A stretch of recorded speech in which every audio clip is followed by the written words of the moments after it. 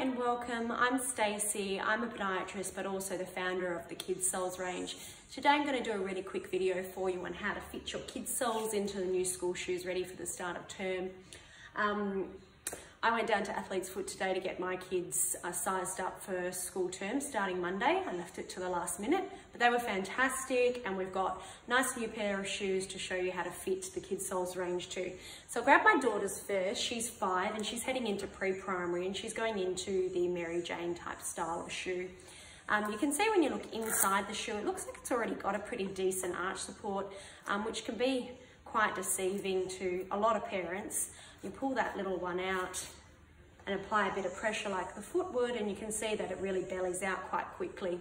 So for a child with symptomatic pain, um, we need an insole inside the shoe that helps some functional movement changes. So I'm just going to grab the J3, which is Maddie's sizing. Perfect. The other one. Great. So when you're sizing up to the Kidzole, the best thing to do is just compare the two insoles. Pop that one over the top and you can see that we will need to take a little bit off.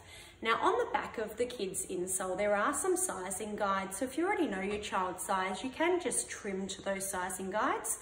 Um, otherwise, what I would prefer to do is just put that insole across the top. Just grab my scissors, excuse me and then just follow the line of the current insole all the way around and that will make sure that the Kidzole sits nice and snugly inside the shoe. So just leaving that one there. Oh, I should show you as well. Pressing on that one, that arch doesn't move too much. That's perfect for us to fit into the new school shoes. Open that one quite wide so that you can get the Kidzole in. You just sort of slide him down and push him through the heel and he is ready to go. So you can follow that process for the other side as well, which is your left shoe. I'll show you how to do it for the boys as well, just because it's a little bit different with the lacing. So Will's going into this style of school shoe. Um, laces, thank goodness he can tie his own shoelaces now, so that's an absolute godsend. So just open those laces up quite wide first so that you can get in there and reach out and pull out that original insole. Same sort of thing going on there, flattens right down when we apply a bit of pressure. I'll just pop these ones to the side. Now Will is going into the J4 and we're looking for the right one, perfect. So J4, let's size that one up, grabbing that original insole, having a look, and we're pretty lucky here, we won't need to size this one at all.